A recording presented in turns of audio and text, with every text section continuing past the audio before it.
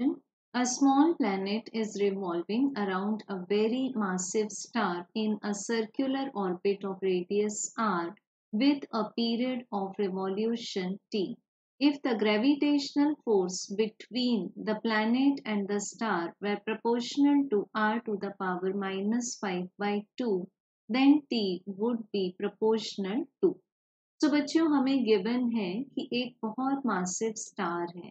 let the mass of this massive star be capital M और इसके about एक certain orbit में एक छोटा प्लैनेट मूव कर रहा है so let this planet be P और इस प्लैनेट का मास मान लेते हैं हम स्मॉल एम अब बच्चों, यहाँ सर्कुलर ऑर्बिट की रेडियस गिवन है capital R and the time of revolution it means period of revolution कि ये जो प्लैनेट है, वो एक कंप्लीट राउंड कंप्लीट कर ले so that time is capital T given है कि gravitational force means F is directly proportional to R to the power minus five by two तो बच्चों, हमें बताना है कि जो टाइम पीरियड ऑफ़ रिवॉल्यूशन है, ये किस तरह से रेडियस पर डिपेंड करेगा? So this is unknown for us तो बच्चों, सबसे पहले हम यहाँ लेंगे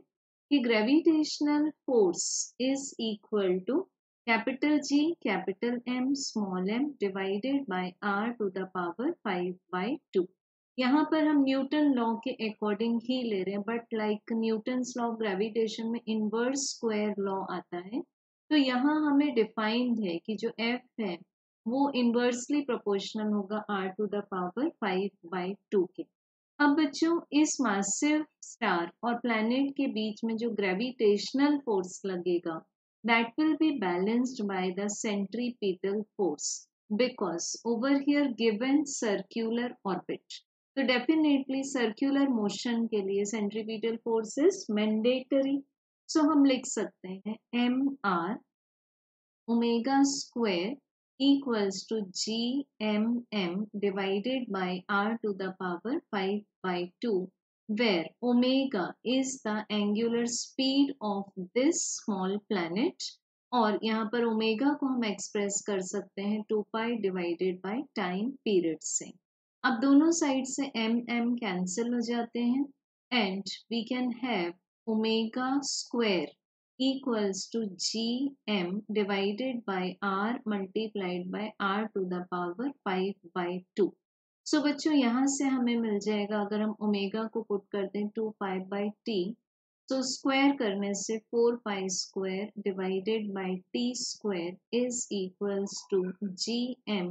divided by R to the power seven by two अब बच्चों, यहाँ four pi square G and M ये चारों कॉन्स्टेंट्स हैं। तो हम लिख सकते हैं T square is directly proportional to R to the power seven by two but हमें डिपेंडेंस निकालनी है टाइम पीरियड की रेडियस की पावर पर। दोनों साइड का स्क्वायर रूट ले लेंगे।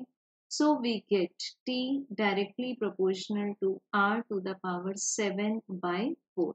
so so, हमें यहाँ पर x की वैल्यू क्या मिल जाती है? Means power of r seven by four so we have correct answer as option number four